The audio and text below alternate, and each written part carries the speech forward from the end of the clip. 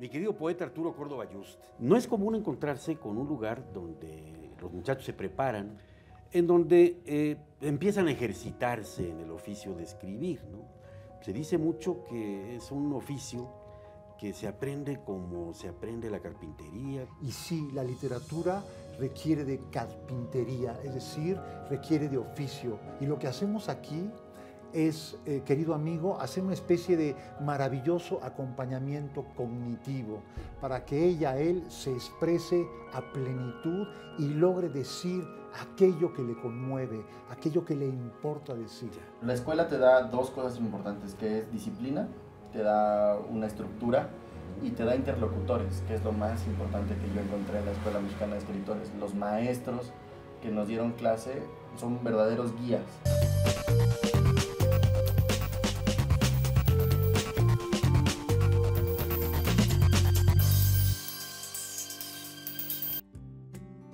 Es un secreto nada bien guardado que nuestro país ha dado al mundo una serie de escritores monumentales, quienes con su talento y genialidad han hecho de las letras mexicanas ya un referente universal. Ante este panorama eh, surge una pregunta importantísima. ¿Cómo podemos asegurar que la literatura contemporánea nuestra mantenga ese brillo y le dé todavía más relieve a nuestro canon literario? Aunque respuestas habrá muchas, hoy quiero analizar una de las más acertadas. La Escuela Mexicana de Escritores, un espacio donde se forjan y funden los talentos literarios que ya lo están haciendo, pero que algún día habrán de resplandecer en el panorama mundial poniendo el nombre del Nuevo México cada vez más alto es un privilegio. Esta escuela está sustentada en la pasión, en la pasión amorosa por la expresividad, por la creación literaria. Es una idea que nació por un grupo de amigos apasionados, escritores, Maricruz Patiño, Gabriela Inclán, Mario González Suárez, eh, la maestra Roxana Herman, que hemos decidido tomar un poco las riendas de nuestro destino de escritores, que significa no solamente seguir aprendiendo los misterios del oficio, sino compartirlos. Compartirlos con verdad, con sinceridad y con profunda acuciosidad. ¿De verdad la, la, escuela de literatura existe como un esfuerzo por ayudarle a la gente que escriba, es un ejercicio inútil porque si no lo traes dentro, pues lo que no traes dentro no sale ni con ninguna ayuda. O, eh, ¿Cómo se sintieron ustedes en la Escuela Mexicana de Escritores, Amaranta? Es una guía y si lo traes dentro, como dices tú, probablemente llegarás a un lugar así y sirve mucho que alguien te guíe por el camino, para que no lo hagas solo y tropieces una y otra vez y regreses constantemente.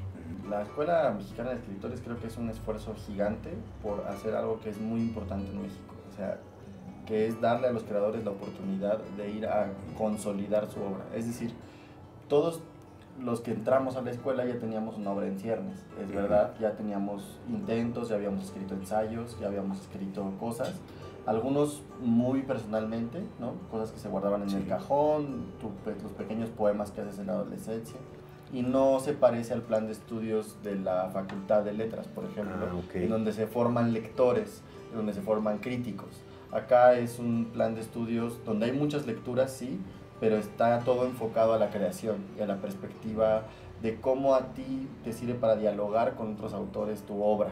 Tú vas conociendo un, pues un abanico bastante amplio de autores junto con la escuela, tanto, tanto europeos como latinoamericanos, también estadounidenses, y, y, en ese panorama te vas encontrando tú cerca de unos, naturalmente, y lejos de otros.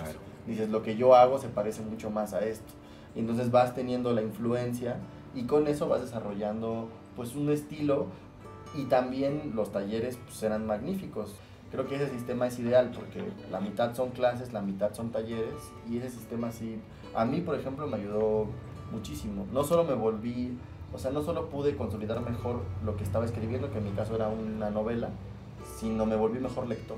Y eso se trabaja en conjunto. La escuela es una especie de laboratorio donde lo importante fundamentalmente es eh, la primera función y el primer papel de nuestros maestros, de la academia en la M, es querer a nuestros alumnos. Aquí desarrollamos talento, es decir, desarrollamos el espíritu, desarrollamos el corazón, convertimos, porque el papel además de la literatura es convertirnos en personas. El papel de los libros para ti, para mí, para la persona que está pasando junto a nosotros en la esquina y que tiene la curiosidad de leer, la lectura y la escritura lo que nos hace son hacernos personas, convertirnos en seres que sienten y piensan. Piensan con la cabeza y sueñan con el corazón. Entonces, en la Escuela Mexicana de Escritores lo que hacemos es pulir estas voces, afinarlas, que no desentonen y que cada una adquiera su propia personalidad. Que no le tengamos que hay que vencer el miedo a lo que sentimos, a lo que pensamos, porque la literatura puede ser un ángel terrible, como diría Rilke, y entonces uno se enfrenta a verdades que pueden ser monstruosas, pero son verdades que nos hacen conocer a profundidad el espíritu humano. Y nos la, literatura lo que hacemos, y en esta escuela lo practicamos, es iluminar ¿Sí? a través de la página en blanco y a través de la tinta y a través de la expresión, la voz de los muchachos ilumina lo que ven, lo que sienten y así poder comunicar sus experiencias.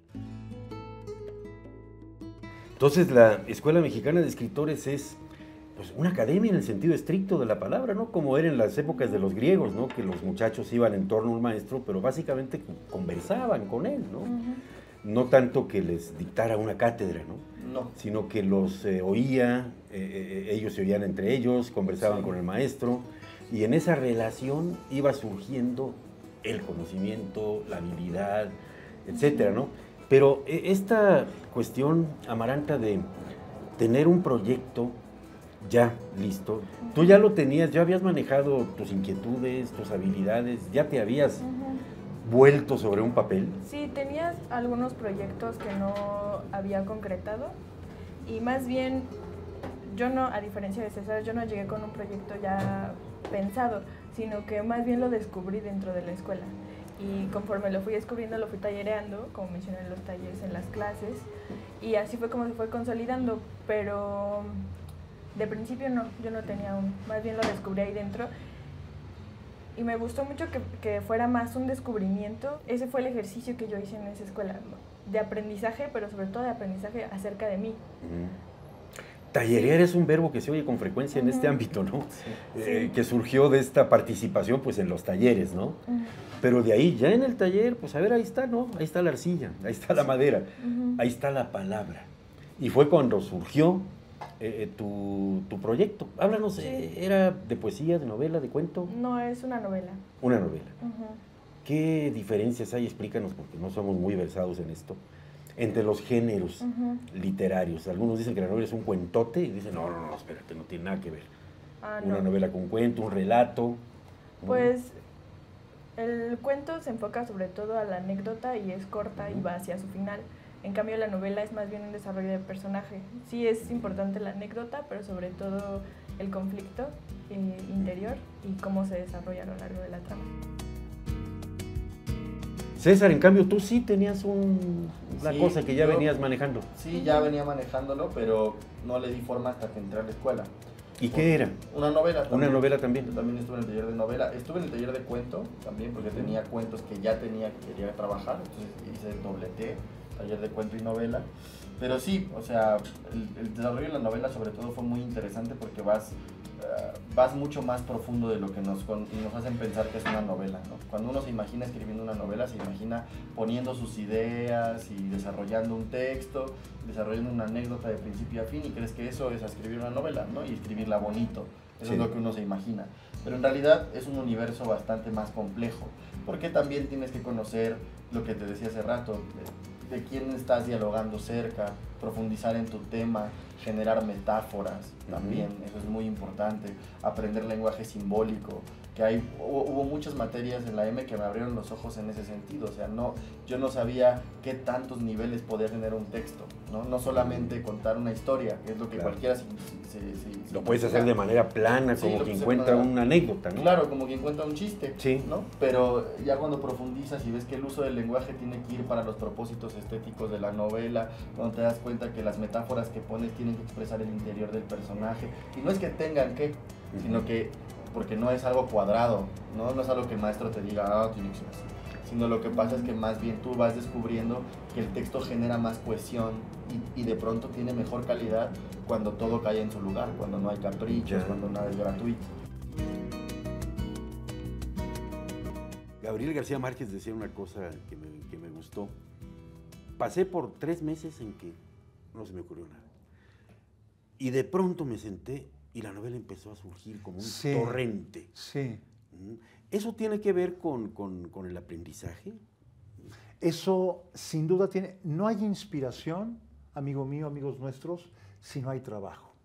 La inspiración es producto del ejercicio.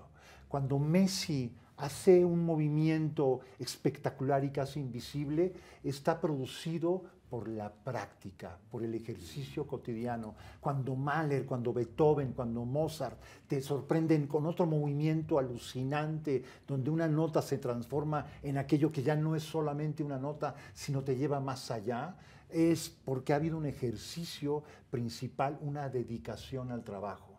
Eh, nosotros no creemos en la bohemia, la bohemia eso... Y me lo dice un poeta, ¿eh? sí, ¿no? Cuidado. No, no creemos en la bohemia, creemos en el trabajo. Creemos que una escritora, un escritor, se hace gracias al trabajo, gracias al estudio, gracias a la atención, a la concentración, y que lo que importa en la construcción de un libro, de un texto, lo más maravilloso es el proceso.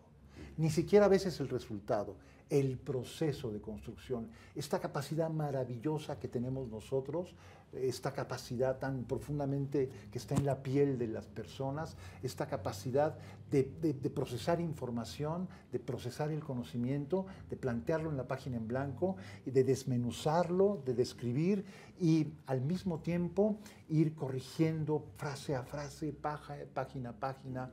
Eh, si, eh, no solamente hay que construir historias, sino hay que cuidarlas para que lleguen a quien queremos que lleguen. A lo largo de mi viaje por el Nuevo México, la literatura se ha presentado numerosas veces como un puerto seguro. Desde ahí hemos podido ver todo aquello que hace grande a nuestro país. Y ahora, tras conocer la Escuela Mexicana de Escritores, puedo concluir que el futuro de las letras mexicanas se encuentra en buenas manos.